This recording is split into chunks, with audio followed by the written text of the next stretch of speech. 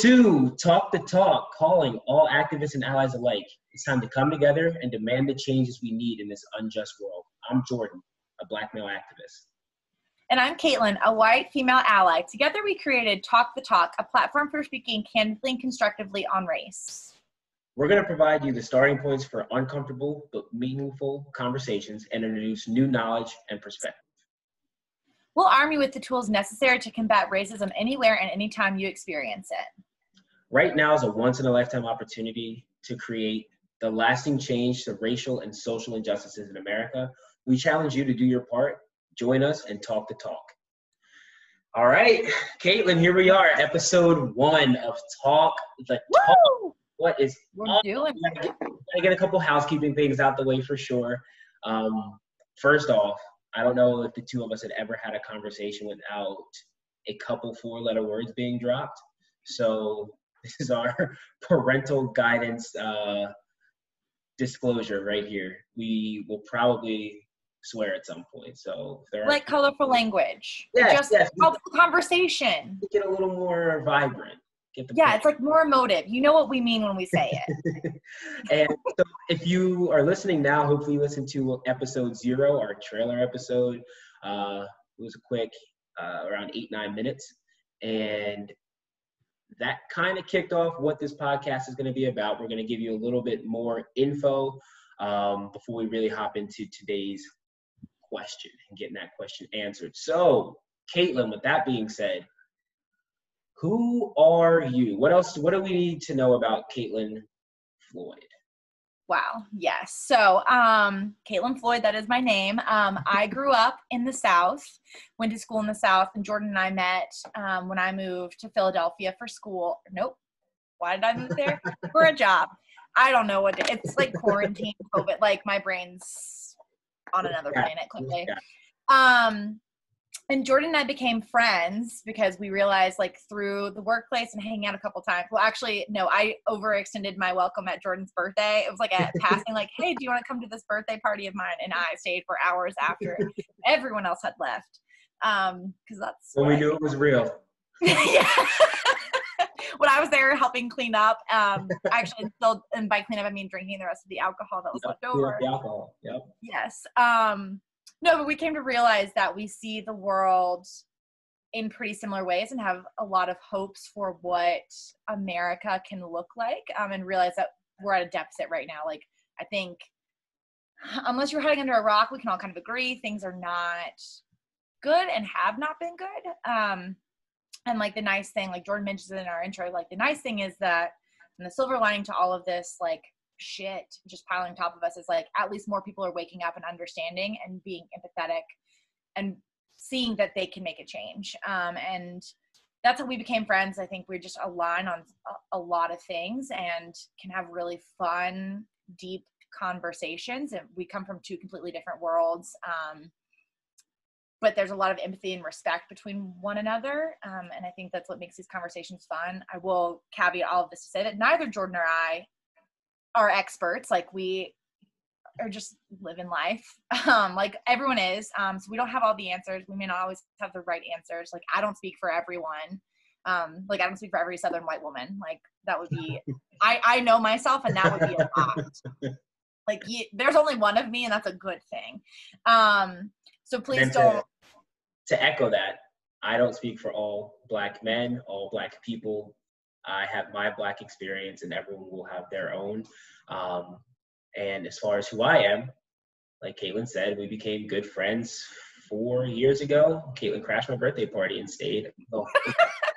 um, she mentioned we met here in Philly, which is my adopted hometown at this point. Lived and grew up about an hour from here, at, right outside of Reading, Pennsylvania. Uh, actually ended up buying a house around the corner from where my dad grew up, uh, down here in Philly. So um, yeah, so we're friends. We've been friends. We'll continue to be friends, and we don't know everything. Um, but we're going to create this platform is going to be used to create a community where people use what we talk about as a jumping off point and educational uh, tool to dig even deeper once you're done listening to each episode um, and taking it from there. So we know what the podcast is about. We know who we are. We know how we know each other. We know that we don't know everything. So what we do know is that we yeah, what do we know? we're going to try to answer a question today, just like we will on every episode. Um, this episode um, is going to lay the groundwork based on the topic that we're discussing today. It's going to lay the groundwork for every other episode because it is starting off with how race became what it is in America and how America, in fact, came to be what it is. Um, we're answering the question, but wasn't slavery a long time ago? Very big question, broad question. We were going through trying to get ready for this episode. It's it's taken us a while because this could be a seven week course on how slavery has impacted America.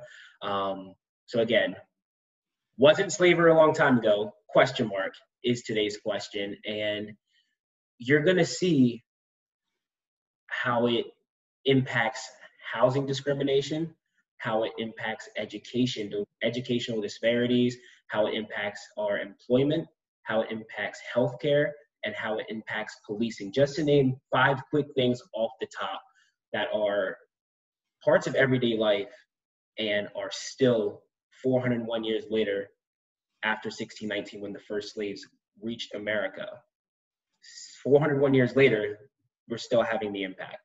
So yes, slavery was 401. It started 401 years ago, and it was abolished in 1865.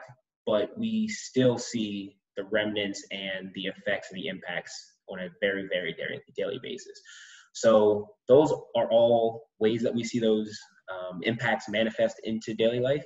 And we're going to go ahead and kick through um, the history and why slavery became a thing, how it stayed a thing for so long, and how it eventually ended. And then we'll get to modern day. So, Kaitlin, you are our in-house historian. That's a very generous term. I'm like, oh my god. That's people get PhDs for like what we're going to spend like 60 minutes talking about. Like they spend their entire life's work like learning and disseminating this information. So So let's do it. so, oh, it, it takes you seven years to get your PhD. It's fine. We only need an hour. It's okay. Yeah. we'll give you the abbreviated crash course version. The talk yes. talk PhD. Yes. Okay. So to echo Jordan's point, wasn't slavery a long time ago? We first need to take several steps back to look at what is slavery and how did it get started in America.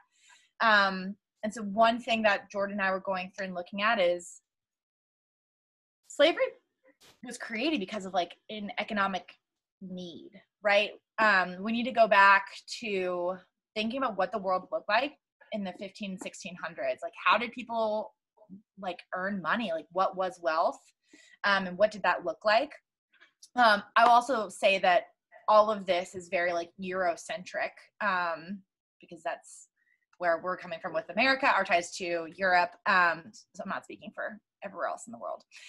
But land was money and that was how you became successful like how much land you had dictated your status and wealth. Um, and during the 15 1600s everyone was like we need to go get more land. So countries like england france spain portugal um, were going around the world trying to get trying to make like passageways passages to asia india so that they could go get luxury goods. They wanted more land, they wanted luxury goods that they were introduced to. Um, and America was discovered. Update: It was not discovered by Christopher Columbus. He discovered like Haiti.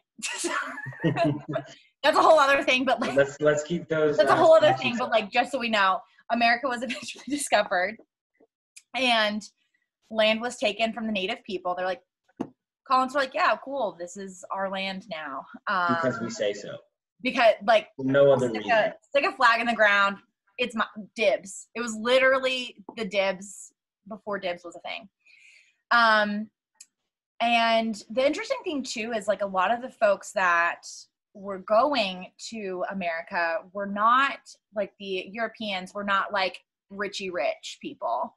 Um, these were people who didn't have economic opportunity because they were like the seventh kid and like land parcels for their family land were not um like they just weren't going to get an inheritance basically so like well i'll go my own way or they were coming from religious oppression um so these are not you know richy The rich royals, people. the royals of yes yeah. Yeah. um you know Meghan Markle was not coming here unfortunately. Wouldn't that be fun though? Um so they're coming here and they realize like there's no gold. That was the original goal was like let's find gold. There's gold everywhere. We all saw Pocahontas. It's inaccurate but they didn't find gold. But they found land and they said okay great. Let's How make money. money? yes. Agriculture is how we make our money cool cool cool. Well who's going to work this land? Oh my god there's so much of it. Like we can't do this all ourselves if we want to turn a profit. So we had indentured servitude which um basically was for people from europe to come and get their passage paid to come to america and then say okay great. Like if i were like a single gal that was never going to get married um and jordan was like hey i've got some land in america I'll pay your passage and you have to like work for me for seven years. I'd be like, okay, there's nothing for me here in London. I'm gonna peace out, Girl Scout, and go do that. Right. That was fine and worked for a while until they realized, listen, like this is getting kind There's of a cheaper way to do this. There's a cheaper way to do There's this. a cheaper, aka free, way to do this. Yeah, uh, yes. So they're like, just kidding. Oh my gosh, these Portuguese people have slaves. All of a sudden, 1619, Jordan mentioned it. The first slaves came onto the shores of America. I'm like, this is free. Why are we doing this? Like, why are we paying, you know, these Europeans who want to, like, who have every right to stop because we have a contract with them that says, after seven years, I'm free to go why why there's people that we can just take and we can work them for So you- forever and not you said you said people, but they didn't look at yeah slaves, okay. black slaves, as as people. They looked at us as property. as property. So it was, hey, here's this free property that we'll, we'll purchase up front, but we never have to do anything else for these people that we look at as property or as cattle um, that are going to and create going to go and create all of this wealth. So when people say that America was built on the backs of slaves, like it's not hyperbolic, it is not an exaggeration. It is 100% what happened. Free slave labor is what built this country to what it is today. Um, so if you like, when you look at the economics of that, the way that plays out is you're taking this land that you took from the Native Americans, you're taking black people from Africa, bringing them here and using them to work that land that you took for free, and you're using them as free labor to create a product, whichever that product was. Uh, for a while, it was more agricultural, and later it does become cotton, which is what, you know, when you connect the slave trade, the first thing that a lot of people think of is cotton because that was instead of money, like that was the instead of oil, that was the way to make money. It was Oh, yeah. the oil of the early 1600s, 1700s, 1800s. And once people, white colonizers realized that, that they could take that cotton and sell it back to the people in Portugal, back to the people in England, back to people in Spain and France, all over Europe, and honestly the rest of the world. That is what they went all in on. So that was the biggest driving factor of wealth, and that was built by people, black people who were enslaved and giving nothing, like given less than nothing, um, for for centuries. And that's Right. how the country got to be the global economic power and you know overall power as far as a nation compared to everywhere else. So you like it's not hyperbolic again to say that america was built on the backs of slaves. So continue no, I think you bring up a really good point on the the emphasis on cotton. Like I think if we like walk, which like we're not gonna walk around and talk to people because COVID, but if we went up to people on the street today and like asked general questions about about slavery, like what they think, like I firmly believe that most of them would say like it's in their head they picture a very large plantation in the south with cotton and that's not inaccurate Um, but I think there's an interesting point too, like to the further power, like power behind the economics of slavery and like why it was a thing, and we're still seeing the ripple effects and the ramifications of of slavery in our country today. Is to the point of like, okay, yeah, we're gonna farm this land, we're gonna make money. For a very long time, the way to make money was things like tobacco and like growing up in North Carolina. I mean, like if you go out into eastern North Carolina, you can still see like a bunch of tobacco farms. Like North Carolina for a very long time into like the 70s and 80s still got a lot of their money from tobacco. So tobacco was a big one. Um, when you think like down, when I was talking about Christopher Columbus, like down in the Caribbean, it was like sugar cane. Yep. How, how, how are you getting your, your rum, things like that, sugar cane. Um, but in the late 1700s, the cotton gin was invented, right? Check, I can't remember 1793. I don't know. Historian, you're supposed to know this. Yeah, yeah. I was like, like you know, like I'm like googling it because now I feel bad. I did know it, but off the top of my head, now I'm questioning myself. 94. Okay. Eli Whitney, it was 94. Great. 1794. I just, I feel bad now. Whoops. Maybe we can edit that out. Or no, actually do it because like this, look, we're learning. It's, it's a whole thing. It's dynamic. Um, so the cotton gin was invented and that flipped the switch because the reason that tobacco was super popular as a, a, a product, I guess is the best way to describe it, was because it was the way to, the way to paint this picture is if you want to take those commodities, so sugarcane, tobacco, cotton, and you want to place them into today's world. Like if you put on CNBC or any news channel and you see the stock market, the tickers for oil especially going up and down based on what else is going on in the economy, if that's what would happen if we had those same tools and metrics back in these slave times. Like as the price of oil went up, it was supply and demand.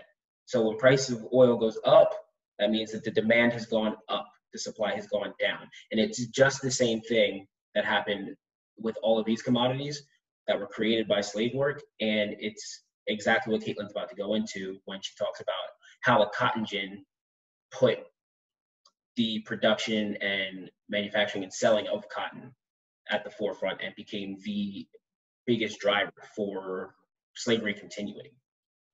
Right. So tobacco easy, like you pull the leaf, you dry the leaf. It was used for smoking. Big thing, great. That was a, a large export for the colonies. Um, there were people who grew cotton, but the way cotton grows, it's got all these little seeds. You think about a cotton ball, like if you're using it for like cosmetic purposes or whatever, there's like little seeds in there. So imagine having to pull out and rip out the seeds. It's just, it takes a long time. It wasn't very fruitful in terms of like large mass scale production. So to Jordan's point, the cotton gin was invented and it made it so much easier to mass produce cotton. It was quicker, it was easier. Um, it ripped the seeds out. It was just literally think of it in the same likeness of the impact that like Ford had on like the assembly line um, which again, maybe I'm being like super nerdy, but Ford basically said, great, like we can make one car at a time and it'll take all day for one person to do, or we can have every single person specialize in something and put things together. And they were knocking out cars. That's why Ford is one of the greatest car companies in like American history. Similar thing where like now, oh, holy shit, like we can make so much. Sorry, we cuss already. of course it was me first like we can make so much more cotton now and everyone's using cotton like it's for your clothes it's for your bedding like we all use cotton even still today like all the time. Um and so when that happened more and more people were like well let me get into this cotton game. Like i want i want in. I've got a little bit of money. Let me try to do this. Let me get some help. And by help i mean like let me own a person to right. to do this for me. Um, and that continued to perpetuate slavery into the 1800s. Um, I think the one thing to note too is the difference in economies between like the North and the South um, of the US, and that's starting to differentiate itself. Um, so, like when we talked about everyone came here and they're like, cool, cool, cool, like we need to have land. we and we're gonna make money off that land. Um, the South became much more agricultural than the Northeast. Don't get me wrong, there was still stuff going on in the Northeast. There were still farms, but it was never as industrialized as like what right. in the South.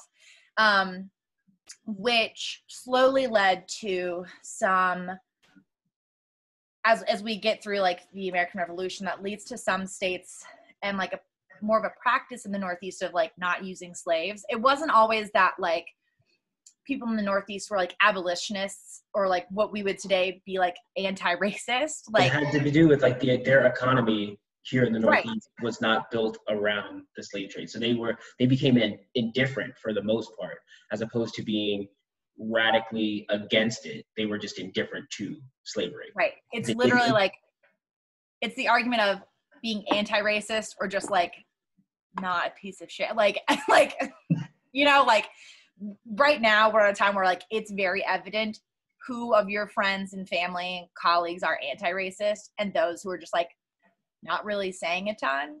Yeah. Think like the same type of thing. Like there and don't get me wrong, there were some people who were anti slavery and like anti-racist saying like this is like what are we doing? Of What course. what I mean, happening? that's the only way that we got to this point where there's Right. not slavery. Right.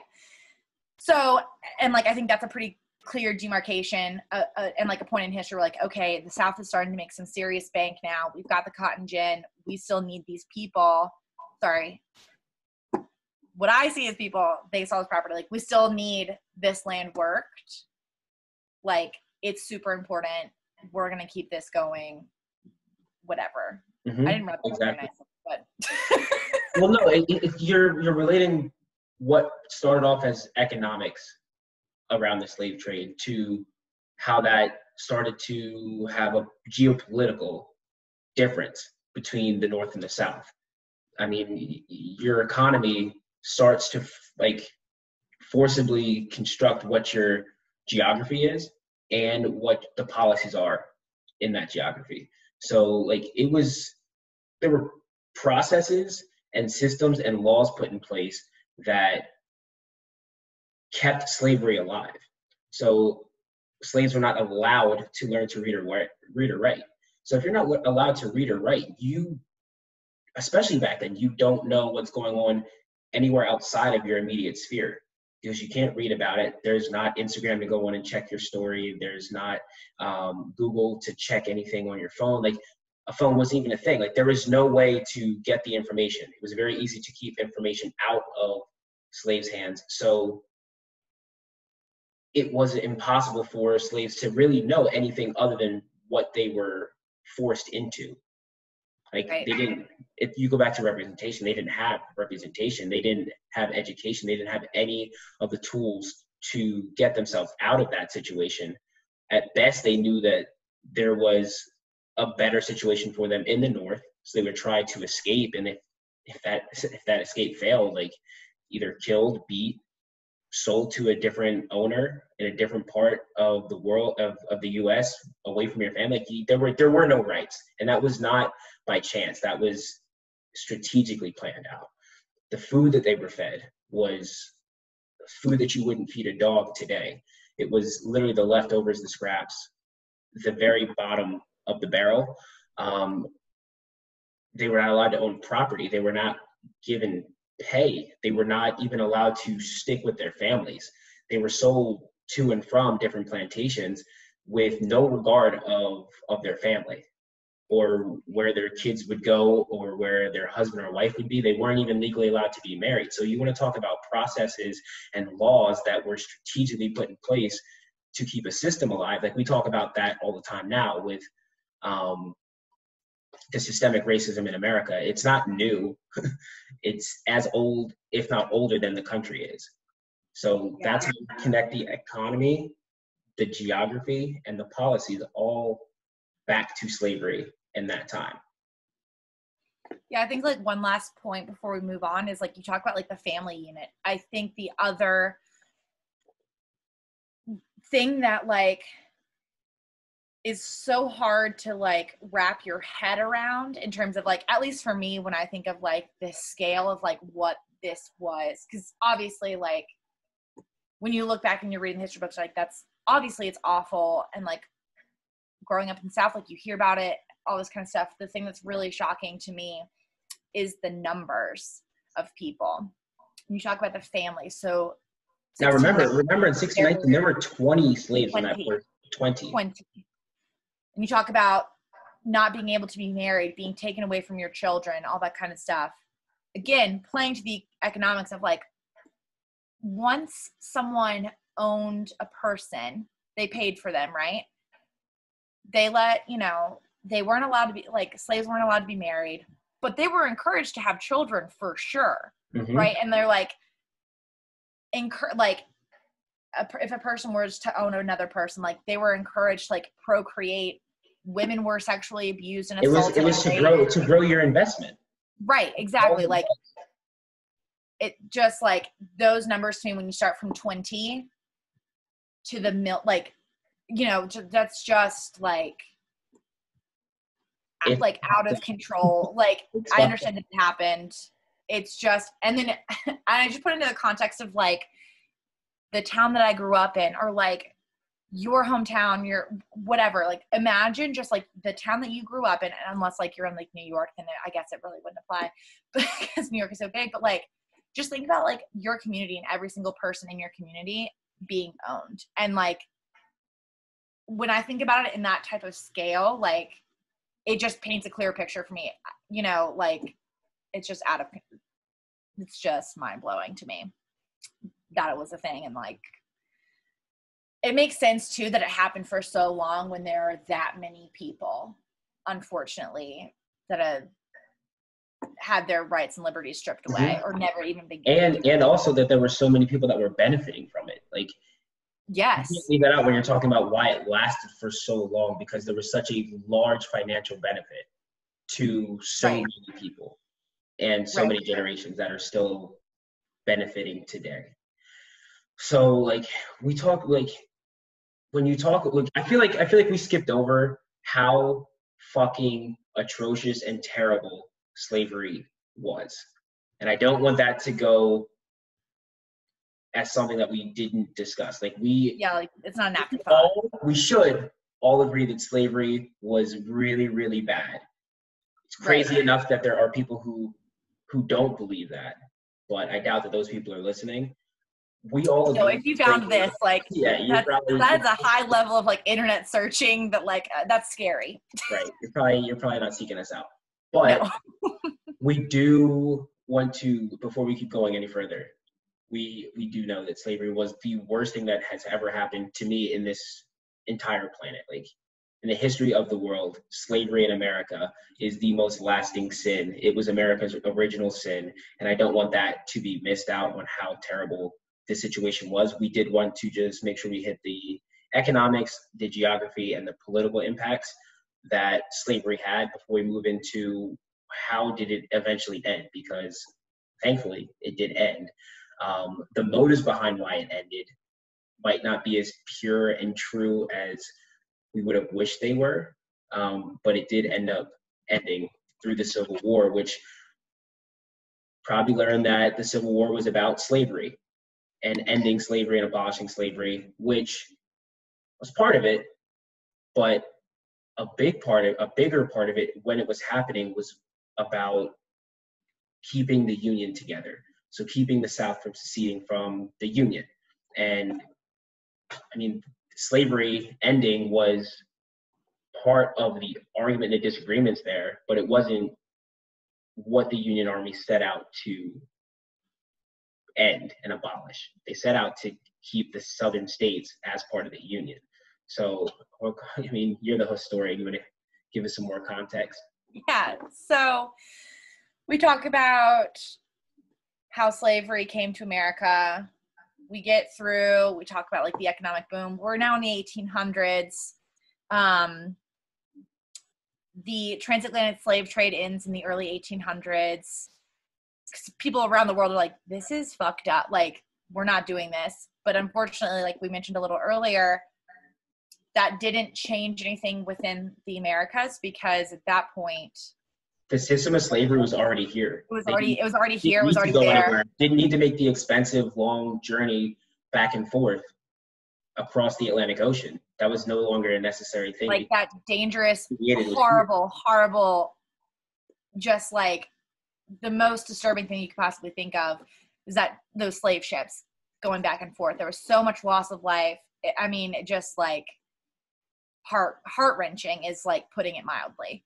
Um, so that ended, which is, I mean, like it's like one of those like slow claps where you're like, uh, oh my god, Yay. like we're congratulating you for not being as like a shitty person. Like that, we're not rewarding like that like mediocre behavior here, or like baseline human decency. Like what? Okay, whatever. Right. Um, but by that point, there were already so many people who were owned in the U.S. It didn't matter, um, and so just there was like this bubble of like this own self-sustaining system that was growing and growing and growing.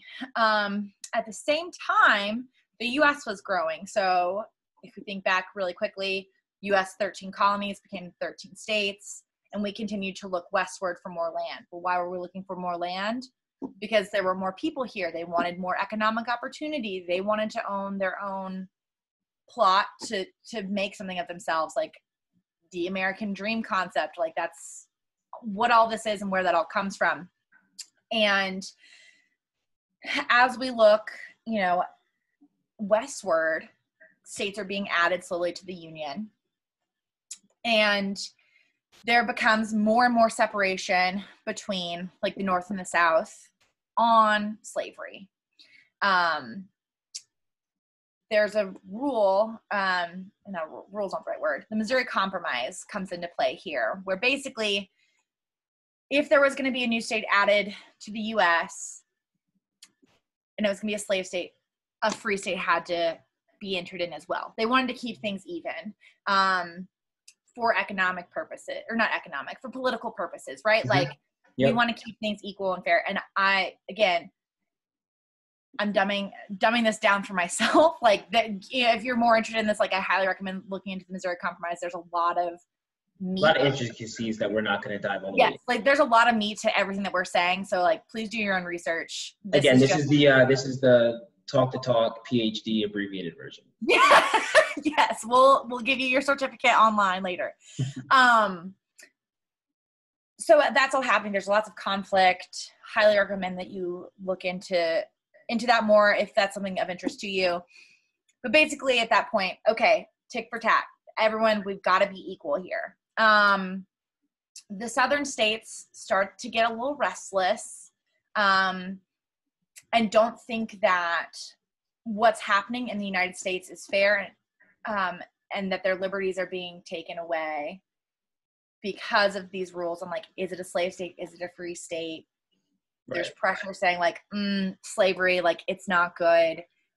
So basically, the southern states say, all right, like fuck this. Like tensions are rising. It's getting really heated. They eventually say like, fuck it, we're leaving. And here we have the Civil War. Um, President Lincoln is also, and there's also like a lot of tension between the presidential race in the 1860s. There, there's a lot of really juicy things. Again, so, so many details. Again, what you know, like, sorry, I'm just like, I just really want to reiterate. So President Lincoln comes in and his entire stance is listen, I'm pro union, which means I want the US to be together. All these states. Like full One stop. family. Like you know, like we all have our crazy uncles and aunts, like, but let's be one happy let's family. together, yeah. Yeah. Like full stop. Like that is like when you think of the Lincoln presidency, like that should be what we think about um, not necessarily placing him on the pedestal of the great emancipator. Correct. That was a um, byproduct of the rest of his campaign. Correct, correct. So like his his objective was let's keep everyone together, not let's free the slaves. Eventually he was like, yeah, like let's free the slaves. Like whatever we got to do to like keep the country together, but the Emancipation Proclamation, which came out in 1863, is a very important document in American history. Do not get me wrong. I'm, I'm not trying to like shit all over the legacy that is Lincoln. I think there were very important and critical things that he did to set people up for success um, in this country as best as it could possibly be at the time. Maybe, and maybe I'm being too generous with that. I don't know. Um, but all that being said, he cared more about keeping the country together. It was not. It was not slavery is bad, and I'm going to stop slavery. Like the union, we are anti-slavery. Like abolishment. Like he was not the activist that's he's often made out to be. He was not the, like did not start this war to end slavery. That is the key point here. Correct. Correct. Correct.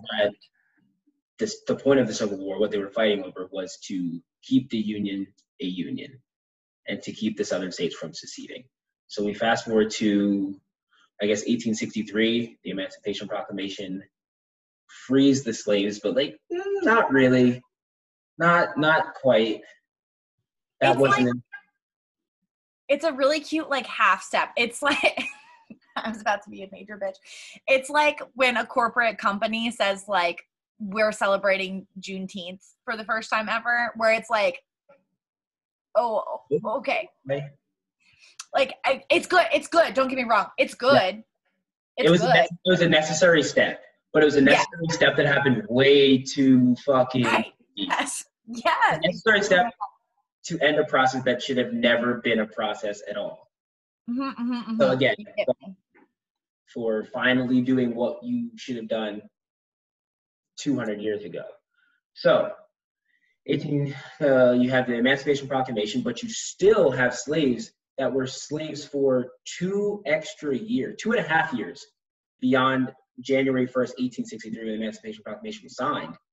It was June 19th, 1865, in Texas, when finally Union soldiers reached Texas two and a half years later to say to the last enslaved people that they were free. And that is where the holiday of Juneteenth come, comes from. So June 19th, every single year, is the, not even the equivalent, it is the Black American Independence Day because there was zero freedom for Black people until the Emancipation, Emancipation Proclamation, and the last slaves were told of their freedom two and a half years later on June 19, 1865. So for those who don't know what Juneteenth is or have never heard of it before or heard of it for the first time this year, it is Black American independence and it is a celebration. I know that some people um, especially this year with it being more in the limelight, we're a little confused on is it something we celebrate versus is it something that is like a somber date? It's not somber at all. It is a full out celebration and should be treated as such. Um, if your company is not treating it as a federal holiday, I know it's legally not a federal holiday, but push for that, push to have that day off and use it as time to celebrate the end of the worst thing that's ever happened in America. Yeah, yeah. Full stop. Let's Full do that. Stop. That's it. Just you're like in, you're out. Good there. So we can keep moving. you can keep moving. so great. Juneteenth happens. Everyone's free and they know it now.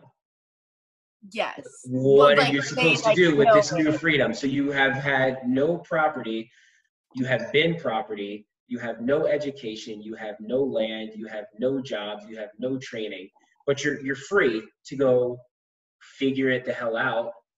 And when we get to that point, we get to what happens after slavery.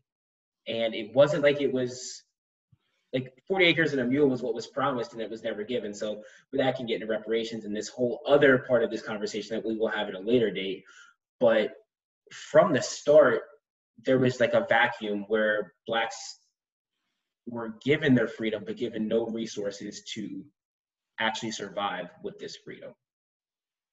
Right. Yeah. I think the other thing too is, like we said, like Emancipation Proclamation is a baby half step. Like, don't get me wrong, it's an essential document for this the shit show that was created, right? Like, but that didn't hold any weight until the 13th Amendment was created, which right. that is what formally abolished slavery.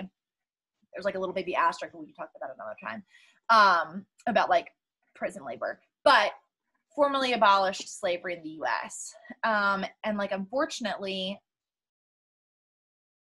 things that were promised, like Jordan mentioned, to set up people for success after everything was taken from them or was was taken from their ancestors because at this point now there are, Again, are no people that are coming across put in Atlantic place. There was nothing that they had for they, generations. they didn't know anything else. Like this was this is your life. This is what you're born into. That you have no choice no options. You have nothing. This is what it is. Um so that all happens. Slavery's ended but there's nothing for these people to do. They have no skills. They can't read i mean think about yourself and just imagine you leaving your home wherever you are right now getting taken and just dropped into like the middle of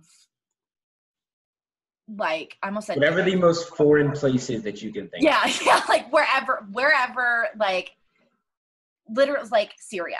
Great boom you're in Syria. You don't know how to speak the language. You can't read.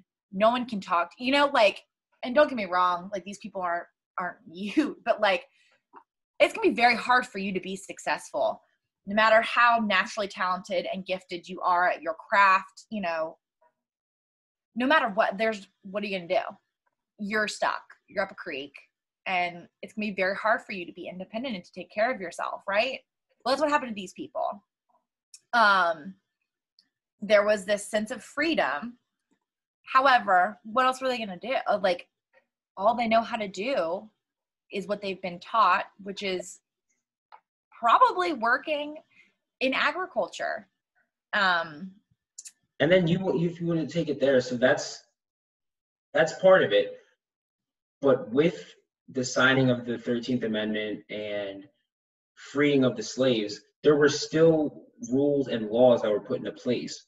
Like we can, we oh can yes we'll talk about the black codes and how those so it went from slavery to the black codes which were laws that if black people worked really any job other than as a servant or as a farmer they were fired fined and even jailed for doing anything outside of those two things that it was deemed appropriate for black people to do. And that lasted for you know up through the 1940s 50s and then think- right from there it went to the jim crow era which was the same thing just a different form of how it was put into place. So yeah i think like continued continued all the way through.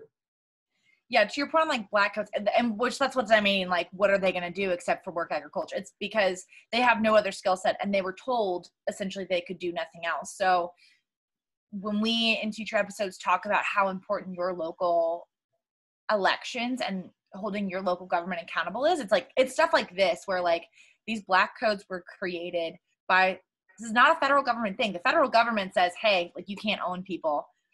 Oh okay cool. So then all these small towns start making these rules that limit the upward mobility and like the opportunity to achieve independence financial freedom and like the american dream because you know these black people who are former slaves are seen as other um i'm using air quotes because that's like bullshit not that i'm like mocking whatever um i feel like if someone's watching this and seeing me just air quote like air quotes air quote.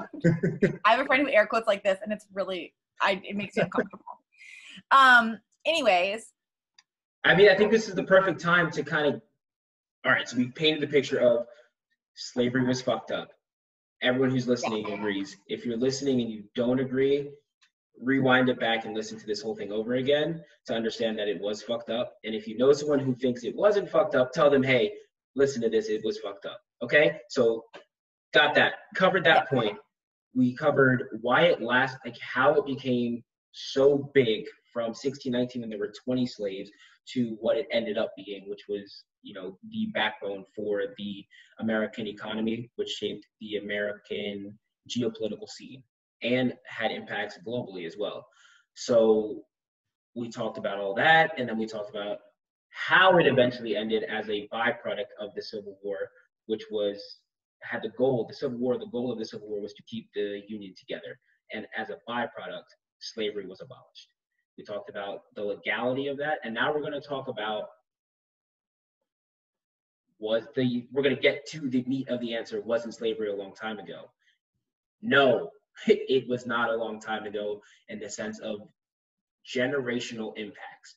We are going to go step by step topic by topic on how there are still disparities that relate directly back to the fact that slavery was a thing in america the first thing we're going to jump into is housing discrimination now again blacks were property, not people. Property can't own other property. At least there, I can't think of any situation where that's a thing. So blacks were not allowed legally to own any property for a very, very long time.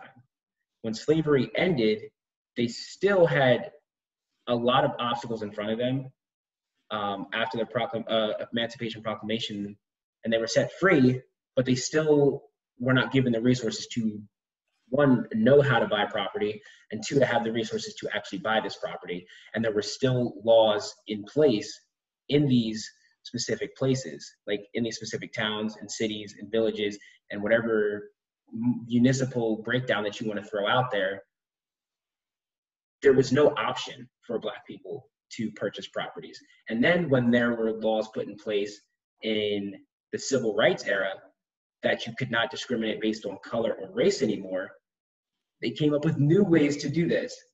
So remember, for hundreds of years, blacks were not allowed to purchase property. Now you were allowed to purchase property, but you had to buy it in red line districts.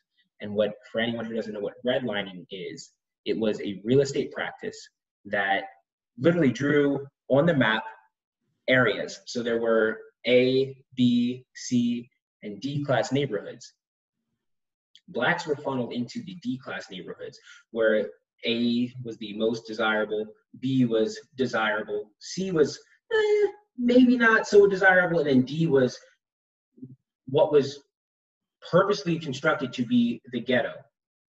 And like, that's so literally that's, like the other side of the tracks. That's that that phrase has very strong yes. historical connotations. It was where there were no resources. It was where black people were really forced to live because they were not given any other options. Um, you were restricted, like mortgage companies looked at these D-class neighborhoods, these red line districts, as risky investments. So it comes back to economy again, um, where it's a risky investment. Therefore, they were less likely to have mortgages in those areas and less likely to give those mortgages to black people, give black people mortgages anywhere outside of those districts realtors would show black people only homes in these neighborhoods. And this is even after black soldiers came home from the world wars. They were still, they were promised these opportunities when they were sent away to war. And when they came back, those promises were not fulfilled. Surprise. Happened again.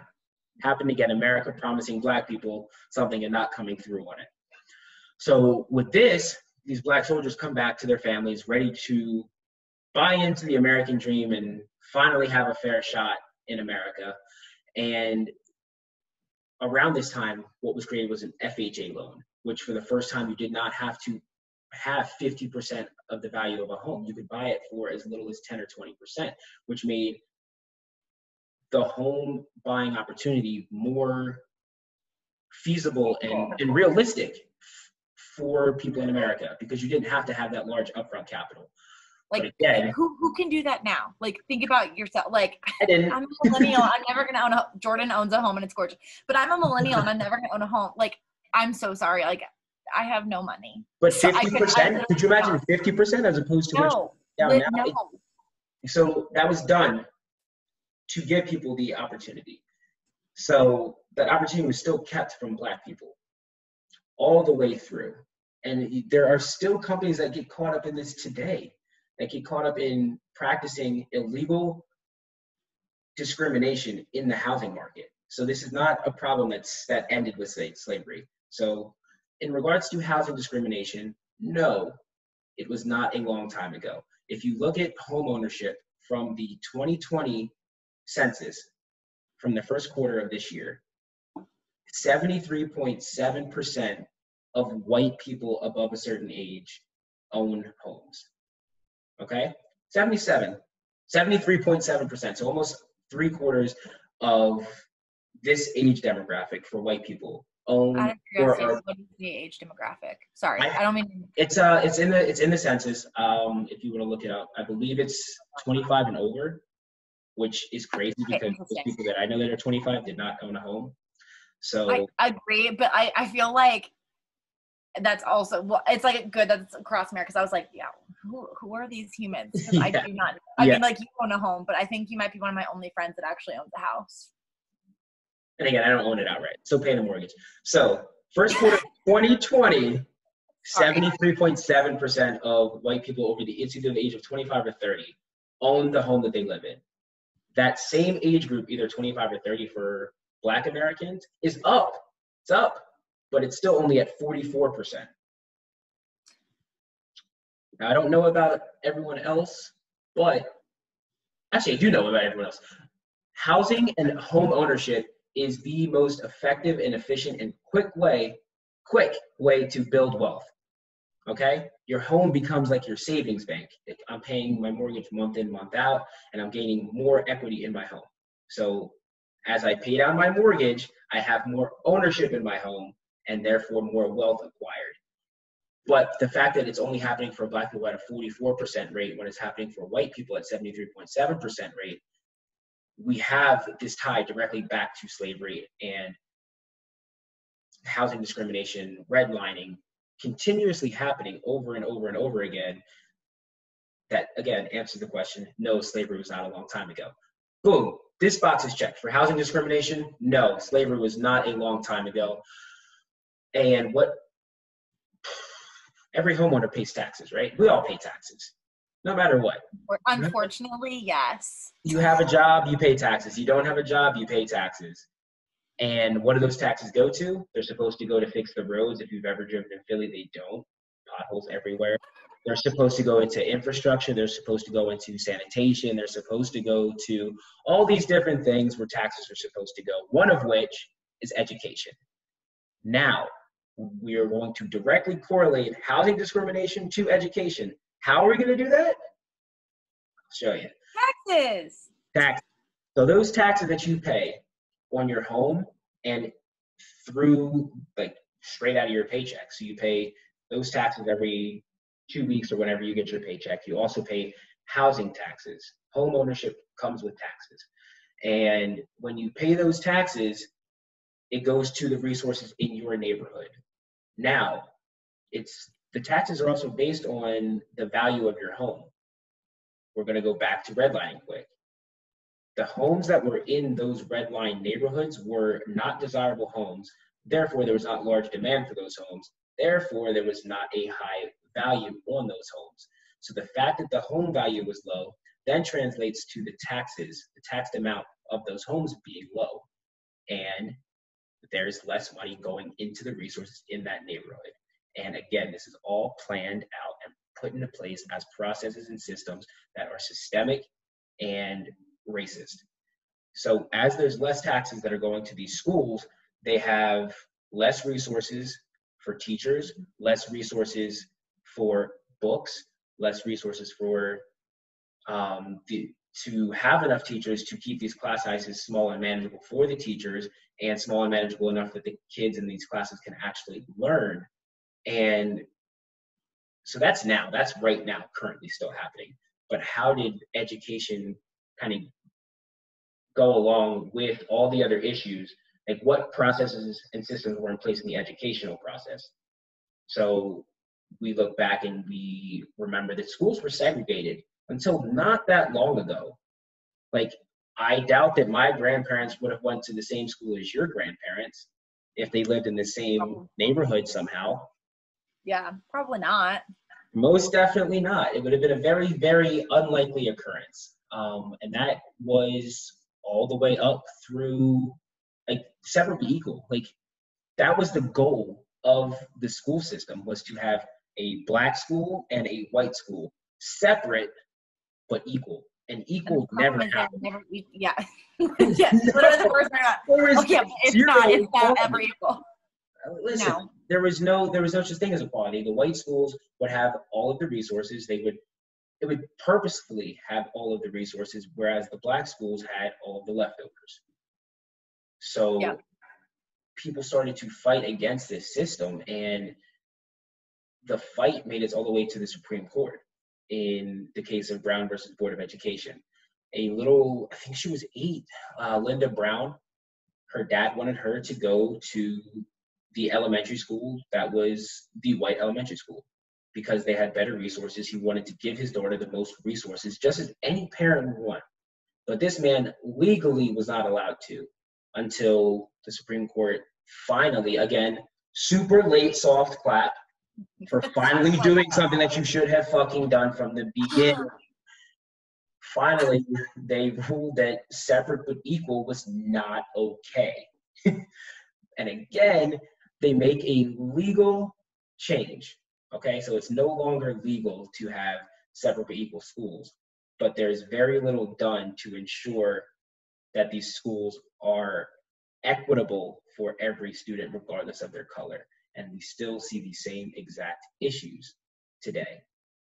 So, Yeah. ready? We've connected the fact that discrimination in housing still exists and is steeped in racism. So, was slavery a long time ago in regards to housing? No. Was slavery a long time ago in regards to education? No. Kaitlin, why do we go to school and To get an learn. education? And that then we what? can get- then we can get a good paying job to take care of ourselves and our family and make meaningful contributions to our society. and that's That easy last part's like altruistic, I know, but like and that's super super equal for everyone, right? I mean like in theory, but I know based on based on the tone of the podcast, I'm gonna guess no. No.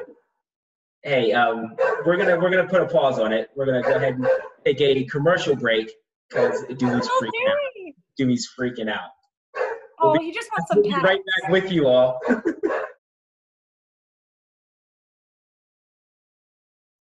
all right, and we're back. um, Dew Man's good. Dewey has used Do you need to introduce like who Dewey is? Like, is this Oh, where we have Dewey- a fun like picture pop up and it's like a pinwheel and it's like We'll have, yeah, we'll have a picture of Dewey pop up. We'll edit that in. Yeah. Try to. Um, but Dewey's good. We're back to the conversation. So again, we are just normal people having a normal conversation, getting interrupted by our normal dogs. Um, so we were transitioning from the discriminatory education practices to another discriminatory practice, which is in employment. Um, so you want to run with this one, Kay? Um, sure. So, what Jordan had been talking about beforehand was is the whole idea of like isn't slavery wasn't it a long time ago? And we keep telling you it's it's wasn't. We're still seeing the ripple effects of of those choices that were made hundreds of years ago today.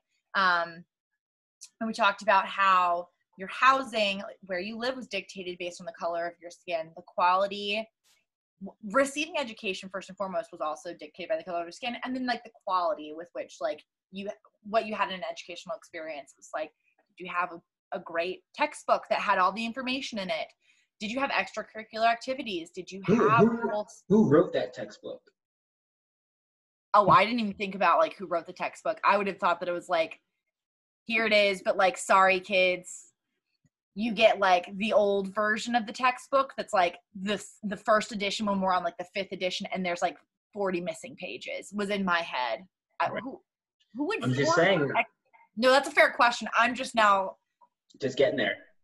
just get like just getting there and like all the time i just think to myself like just like by and large in life like it takes so much energy to be a, a fucking asshole like all this stuff like you're making it hard like we got to make this whole new set of rules because we don't see people equally like that just seems like what what i mean like obviously like morally and ethically it is absurd like absurdist It again does is seem like like a lot of unnecessary work. it just seems like so much extra like bullshit that you would But I mean, it comes down. It comes down to the why it happened. It was to Oh, sure. create a sense of privilege and superiority Yes.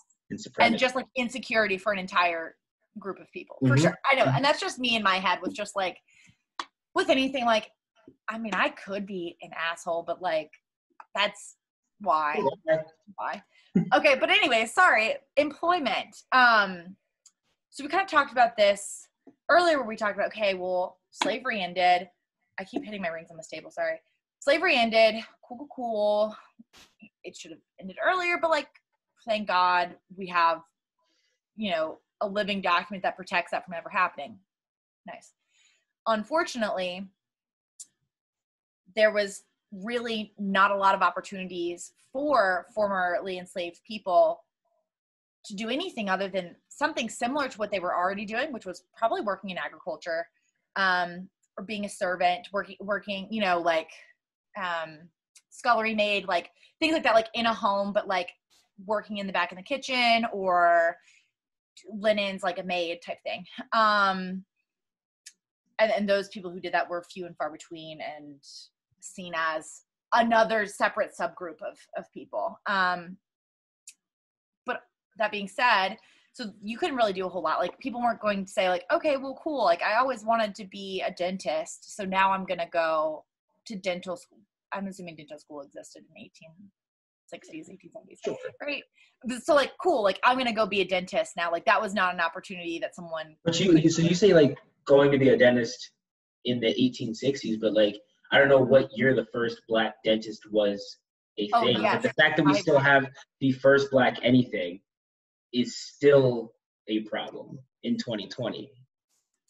Um, if yes. you think back to the first black president, like, we were all we were all alive for that in in 2000, 2008. Like it's not like we have gotten so far removed that we're not still having to have that qualifier for the first black this or the first black female this like still going on so right also the, just sidebar so yeah. everyone knows the first black dentist according to google is robert tanner freeman freeman emerged from poverty to become the first professionally trained black dentist he entered harvard medical school in 1864 or uh, what sorry 67 i can't read four years after the civil war ended okay sidebar i i just arbitrarily said dentistry I'm really happy that happened. But by and large, that was not a normal thing.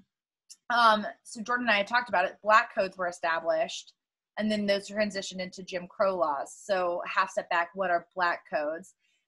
They were rules that restricted the job and profession and career that a formerly enslaved person or black person could have. Um, and like I said, guess what? pre slavery or during slavery, you were probably working in the fields. And let's say, like, you were at a cotton plantation, great. After you're freed, you're probably doing the same thing, potentially working for. Working for the same person that you'd been working for potentially for your entire life um that's your there was no for their whole lives and your right yes yes, yes. again there was no no opportunity for upward mobility. There were no resources given to you. It was just, hey, here you go, figure it out. And there's nothing they could do. Um, and and you had these landowners who were saying, listen, c- come on, like we'll give you a place to live. It was literally the same place that they were already living. Like the slave quarters that they used to live in were now their homes. I, again, I'm using air quotes. Like, what in the world? So those positions were still limited to people to black people and to formerly enslaved people there was no real and our, our friend robert the first uh, black dentist is an exception but th- there were a few people who had the opportunity to go and move forward into something else um, if you broke these rules guess what there were punishments for you breaking these black codes which were mm-hmm. jail time paying a fine with like what salary are you making also the salaries that these people were making were next to none because they got the privilege to live back on the land that they'd already lived on right. and worked on for years so the idea of like well you have a job now you can make m- money and an income that's not that's not really true that's a far cry from like if we're going to call that we talk now about like a livable wage we think it it's was, bad now. Wasn't even a conversation. Not not even a conversation or something that we can like, then. Right. This is just what it was. Hey, listen, now good for you. You're free. You can earn an income. We're going to make it so minimal that there's nothing for you to do. There's nothing to have, no way for you to help support your children. Your children are just going to have to start doing this job now. Um, so then that's black codes, and then we transitioned into Jim Crow, um, which was essentially the rebirth of discriminatory practices. So racism um, doesn't it doesn't go away. It just changes its shape. It just yes, it literally just morphs itself. It was originally slavery and then it turned into black code and then it turned into jim crow and now we're in what i would consider like this weird post jim crow like criminal uh, prison incarceration phase of whatever we can talk about that at a later date. But um back to jim crow it's the same the same core thought of an us versus them mentality if you are black you are not good enough. You have to be separated from us. You're not going to be given the op- the same opportunities. Um, and this was the way that it was until the civil rights act in 1964 um, you were just destined to like we were talking about with housing like live on the other side of the tracks. You were living there because you couldn't get a job that paid you more. You couldn't get a job that paid you more because the schools that you went to for sundry reasons didn't support your growth and development as a person to then get into a university system you know like every single step of the way if you are a black person you were set up at an unfair playing you're not on the same playing field basically. Like every step of the way generationally generationally as i stutter since the beginning of since 1619 you were literally just up a creek without a paddle and that was just supposed to be the way it was because of the color of your skin. Exactly exactly. And then we talk about employment we talk about two reasons that you have a job. One is salary so you have money to pay for things and the other often is healthcare. So health okay so we, we already checked the box. Discrimination in housing discrimination in education discrimination in employment and we're going to go into discrimination in healthcare. And this goes all the way back directly to slavery. Slaves did not have healthcare. Like it wasn't like a slave broke his or her, her bone working. They didn't have workman's comp. They didn't have a doctor. They didn't have Aflac. No, they had none of that. they had none of that. They literally maybe a bandage, maybe a little sling, and get back out there. Like, and yeah, your expectation was still to be as productive and whatever productive looked like given your role, even if you, you oh, I'm sorry, you broke your arm. Well, you still better pick as much cotton. Because remember, you, when you when you're a slave black person, you are not a person at all. You are a piece of property. At this point, you are just damaged goods. And if there was healthcare provided, it was not for you. It was so that you could get back to making me or the white owner money. So that's what the healthcare was focused on when there was healthcare.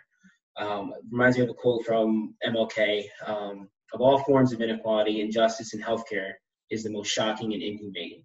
So, not even having the basic protection of your own body, that was not afforded to, to Black people in America.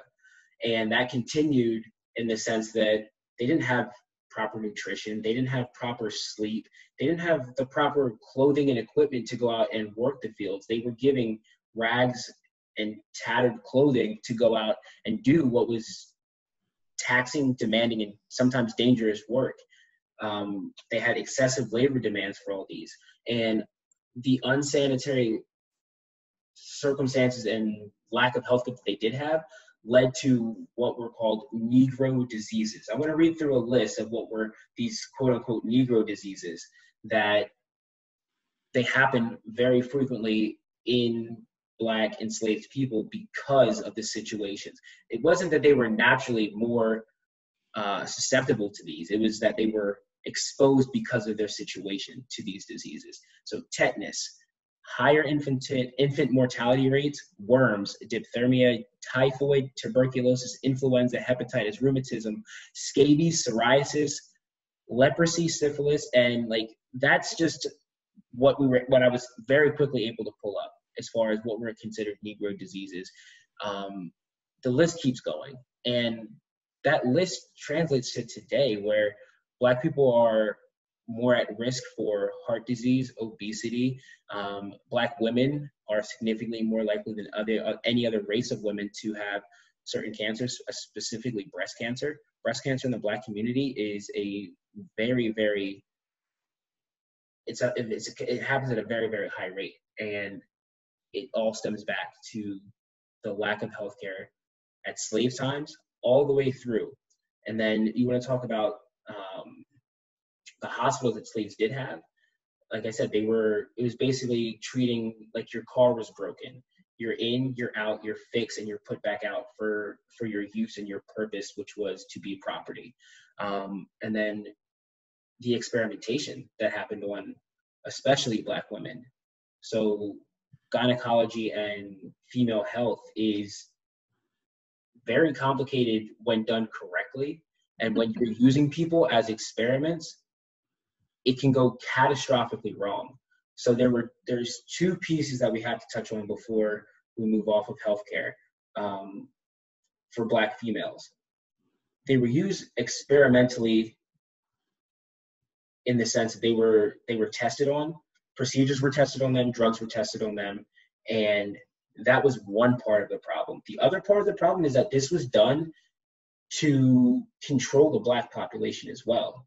Like it, there were very young young girls who were forever sterilized, could never have kids, could never pass on what was believed and portrayed to be a dangerous race. It was better to get rid of the possibility that these black women would have more black children.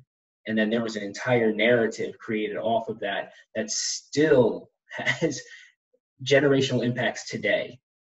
So, yes, healthcare is another one where we can easily check the box that was slavery a long time ago. When it comes to healthcare, no, it was not. And I would say like like the other thing with like healthcare too, um, that's still an issue today, like a significant issue is, um, and I'll speak again more specifically to women because I just know that more. Um, but I'm not a black woman, but I care a lot about gynecological health and female health. No offense, more than male health. Um, Makes sense.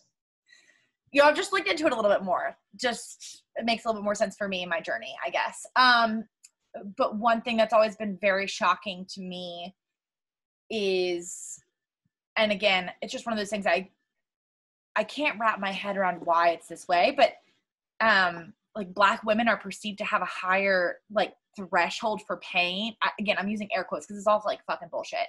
Like a higher threshold for pain, therefore, like during something like terribly pain. I I don't have children, so like during something that I can imagine only to be like the worst pain that I could possibly feel, which is birthing a child. Like their care of treatment could be very different than like if I were to have a child. You know, like we could be on the same floor, but there's an opportunity and like a potential that like I could be offered an epidural, whereas someone may not like, and I'm not an epidural, like I'm sure most people are offered that if they want it, but by and large, like my range of treatment could look incredibly differently. Incredibly different. Because of the color of my skin. And there are. And we're, ta- we're talking today, present day. we're talking today. Um, today. Serena Williams, when she was having her pregnancy issues, I, like I won't go into like in depth on what they were, but she was she had to be an advocate for herself because her physician like she was having issues with her pregnancy. And like let, let me be clear like having a growing a human is like fucking hard. And like there's a lot of issues that arise when you're doing something like that to your body even though women do it every single day and they've mm-hmm. done it since the beginning of like human race like shit happens and shit goes wrong. And I cannot imagine like how incredibly isolating and frustrating and scary it must be when there's something going on with your body and you have the person that you're supposed to trust most in this situation, which is your physician and your nurse. Not acting in your own interest because of the cause. Yes. And like when you have to raise your hand and say, like, I feel like something is wrong and people aren't listening or like don't believe that there's something like, oh no, no, no, no, no, it's just whatever, whatever, whatever. And you have to keep advocating for yourself with stuff like preeclampsia, which is super common and like Mhm. whatever. I just I think that's like its own conversation and like point, but it still happens today and it happens to and and not to say that like a celebrity is more important than so you know your next door neighbor, which okay, I think also what it- I think what next door neighbor is not a celebrity, but I like think what it says is that it doesn't matter. Like it doesn't matter what status you reach as a black person. The first thing about you is that you are black. right right it's it's not that you're literally one of the best female athletes in the entire world and that you you can have the you've got like the financial freedom that a lot of people do not have so therefore you would think that like okay like if you have the money you you've got the income check you know you have a great You have the education celebrity, great you have job, status, you have all of it. right that like but that it was a big news story like a couple last was it last year or two years? I can't remember but that was a big news story. It was like the difficulties with her pregnancy and like the the roadblocks that she was hitting because of that. So it's still an issue today. So check. so che- so all that is to Discrimination say, of- check. Now the last last piece of evidence that slavery was not that long ago was uh, that was mentioned previously was policing. Now we're not going to dive super far into this because our next two episodes are about policing in America, um, but we will just start it and end it with police in America were started as slave patrols. Okay, so it was not always an organized um, job. It wasn't even a job previously. Um, it was created to catch runaway slaves, bring them back to whoever owned them because they were property. And it evolved from there. But those were the roots. We're going to dive deeper into that in episode two and episode three. So we're going to go ahead and just leave that there for you. And we're going to go a ahead and little nugget a little teaser little teaser little teaser so we're going to go ahead and get to the point we're going to wrap this one up um, so to answer the question was slavery a long time ago let's say it all together on one two three. Hell oh, no. Oh i like your no better than my no sounding no? Slavery was not a long time ago okay? Um, now we don't want to ever just send you away with just the answer to the question. We want to give you resources and other ways to continue this conversation continue this topic. So um, Caleb, first we're going to go ahead and give a a resource for this week what is it what do we got okay i feel like this is like an official timeout do we not want to do like the fun thing about the school thing Oh, I almost forgot our, our, our segment, our brand new segment on our brand new oh show. Oh, good catch. Do you, do you remember that one time that we spent a long time organizing this whole thing and talking about it, and then we just like decided to not? I was, I was like, "Are we playing. Audible?" And just like, I did that. okay, All right. great. So introduce introduce what the segment is.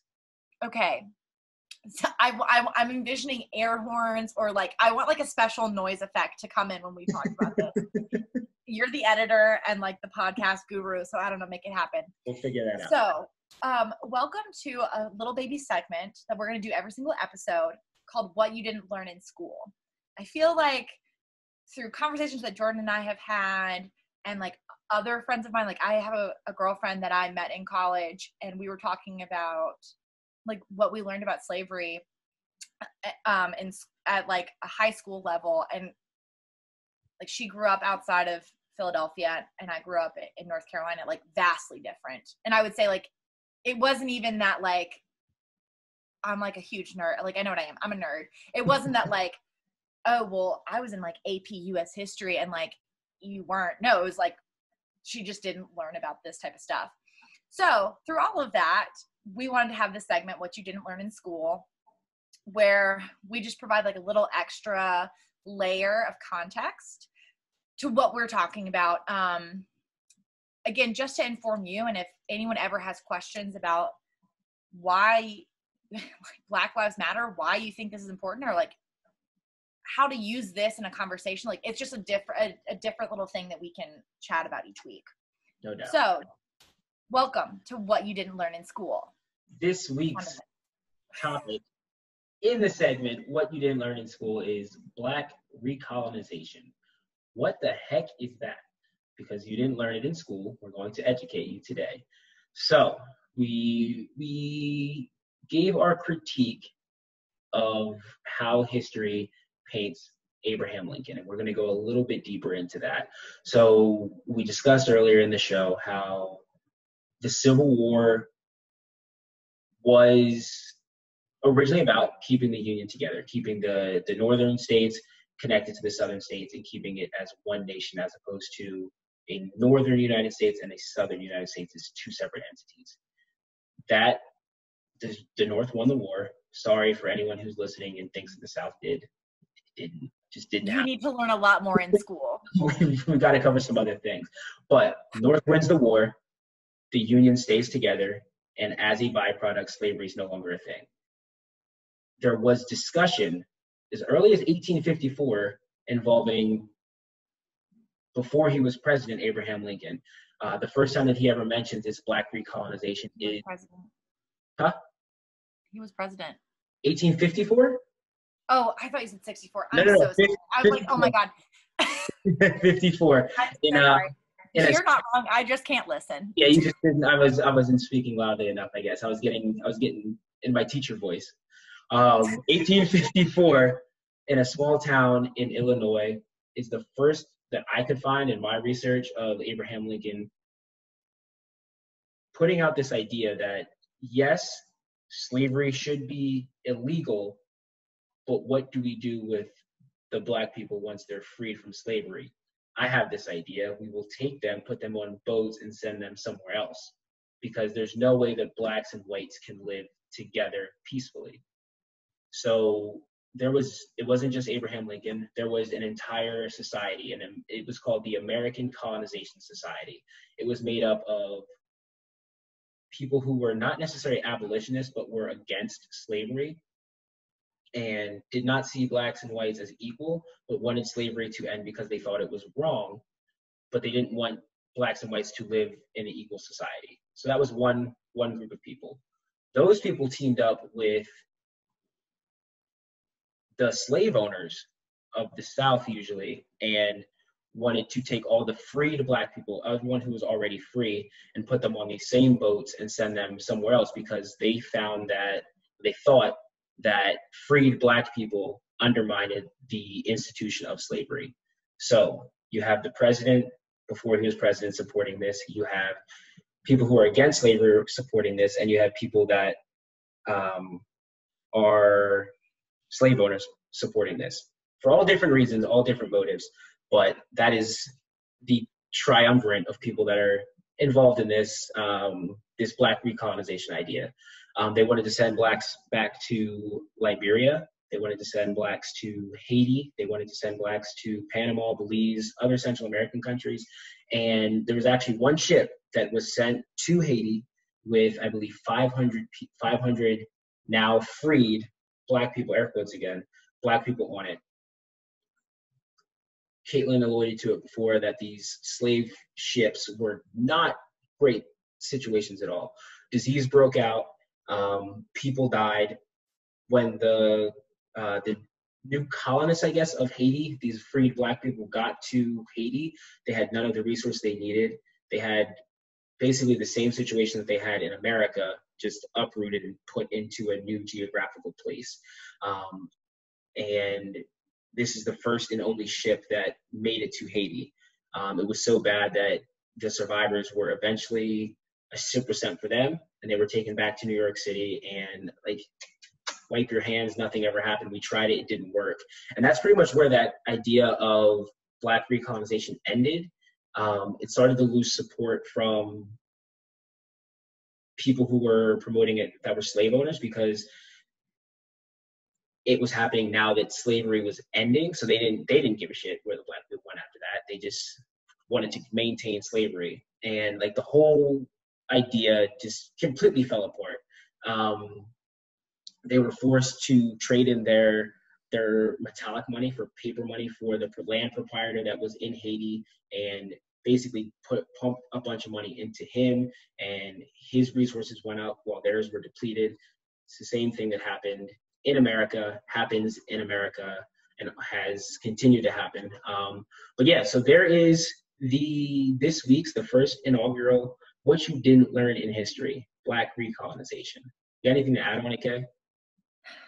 No, I I think that's great. I this came up because Jordan and I were talking because I made the point when we were going through like what this first episode was going to look like and what should we hit on from like our American history.